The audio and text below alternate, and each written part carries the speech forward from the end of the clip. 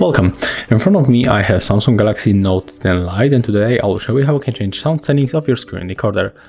At first you have to go for the settings and scroll down until you find advanced features.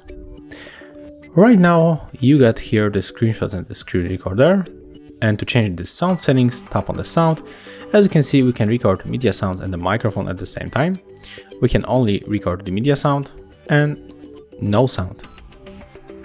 Unfortunately, we don't have this option to record only the microphone, but maybe they will add it to another update.